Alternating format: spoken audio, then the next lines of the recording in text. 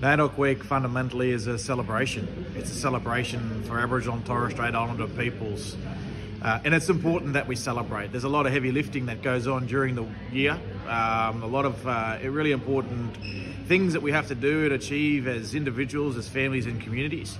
And uh, NAIDOC Week is a chance for us to showcase our culture, our history, um, showcase the very best of Aboriginal and Torres Strait Islander people. And firstly, we do that amongst ourselves, and then we share that uh, with people more broadly in the community. It's really important to remember that NAIDOC comes from a place of protest. It comes from people uh, before the 1920s talking about the need to change the date. Um, we know that there have been many efforts at this over the years, and actually, the Change the Date campaign is still happening to this very day fundamentally it was about people saying we need a voice. We need a voice for Aboriginal and Torres Strait Islander people to have a real say on these issues. And so it's important to recognise that the history of NAIDOC speaks to our current campaign to achieve a successful referendum on an Indigenous voice to Parliament. It's no coincidence that there's a linkage to the past, the foundations of where NAIDOC come from, that we're still talking about some of these issues today, and that the need for a voice and the opportunity for a successful referendum on a voice is right there in front of us.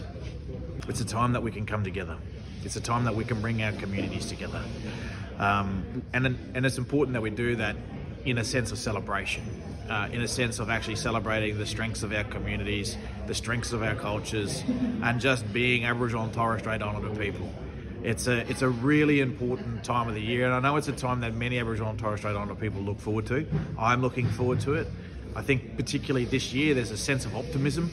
Uh, there's a sense that uh, potentially there are changes on the horizon for things like the referendum on a voice to Parliament. That that is something that we can achieve in the very near term, and I think that is very much a sense of, of, of some of what we're trying to achieve this year through NAIDOC get up, stand up, show up means doing what really we've been doing all of our lives, um, which is which is taking a stand and making sure that our voices are being heard on the issues that are important to us.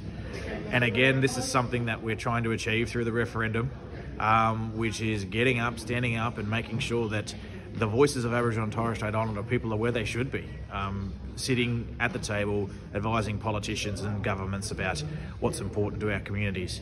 Uh, it's a really strong theme, it's an active theme, and, and I think it's something that speaks to the moment that we're in right now. So the NAIDOC committee has uh, uh, its own website and they have a list of activities uh, around the country. The really important thing about getting involved in NAIDOC Week is it's, it's really locally led. There's so many local events and opportunities that people can, can get involved in. It's a time to connect at that community level. And so I'd really encourage people to have a look um, explore the options that they have in their local communities. Obviously, there'll be some big national events as well, and we're asking people to get involved in the conversation around a referendum on a voice to Parliament. That's something that we'd like people to participate in as well during NAIDOC week. And there's also those opportunities to to get involved on the ground. So it's a great time for communities, both our own Aboriginal and Torres Strait Islander communities and the non-Indigenous population to get come together and, and actually just celebrate the best of, of who we are.